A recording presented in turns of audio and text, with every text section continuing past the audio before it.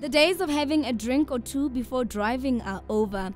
And that's according to Transport Minister Fikile Mbalula when he announced the law that motorists must present 0% alcohol level when being tested. This follows reports that there's been a notable increase in fatalities on the roads due to alcohol. But the Automobile Association says this is impractical. We had a chat with the spokesperson, Layton Beard. Look, I think you've got a situation where the law is being proposed and probably will be implemented um, but I think from our point of view, it's going to be a meaningless and ineffective implementation of the law. Um, you in a situation where you have an existing law, you've got current legislation, and, and we feel that any um, legislation regarding drunk driving should be implemented and should be enforced uh, before you actually bring new legislation in. So what we are saying is, is that you've got a situation now where uh, there is a law, um, just apply that law, increase your enforcement, increase your prosecution of that law, and that will act as a deterrent uh, to people who want to drink and drive. Drunk driving is a behavioral issue, and it's not going to be solved through legislation. It is going to be solved through prosecution and proper law enforcement. Introducing new legislation is going to be ineffective. So, what does the Automobile Association propose instead? First of all, you've got the legislation, operate within that legislation. Um, 0.05 per, uh, uh, milligrams per 100 milliliters of blood um, is, is, is a fair enough uh, percentage for, for, for, a blood alcohol concentration.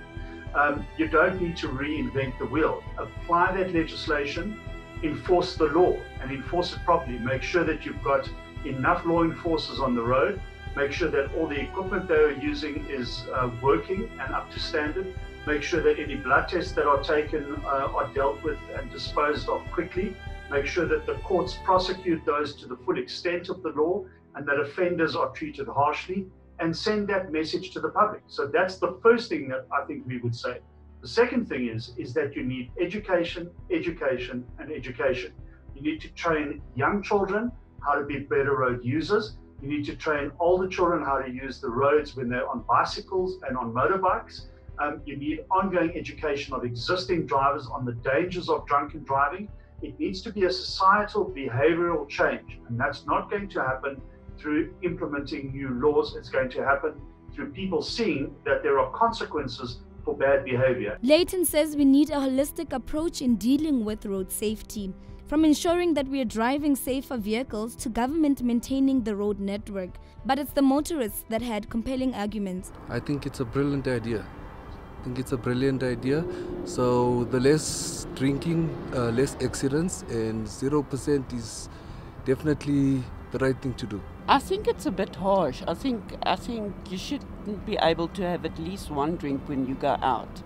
So I just think it's a bit harsh to go from what it is to 0% so quickly? I think it's necessary considering the times that we're living in now.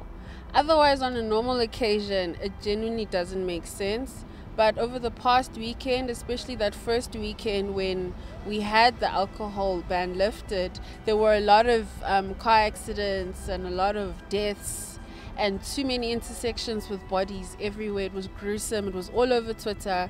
That's not something I genuinely want to see now during the pandemic. So I think it's necessary. Also, it'll teach people to drink at home rather than have to go somewhere to drink. We will certainly bring you updates on this story as they happen, but for now, let's take you back to a story that we did on hot cross buns and the fact that they do contain alcohol.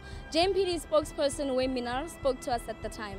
There's no concern uh, about uh, the eating of hot cross buns because the alcohol content in hot cross bun is very low. The raisins and the dough and the yeast, all of that uh, does ferment and it forms alcohol, but it's a very little alcohol. So if one eats a hot cross bun and you test immediately on a breathalyzer, you will get a reading. Just the same way as you would drink a mouthful of strong alcohol like whiskey or brandy and spit it out. So it would also give a reading immediately if you get tested immediately. Government has also hinted on other regulations being introduced to regulate alcohol in the country. Hey everyone, my name is Ayan Danklapo and you're watching Joburg Today.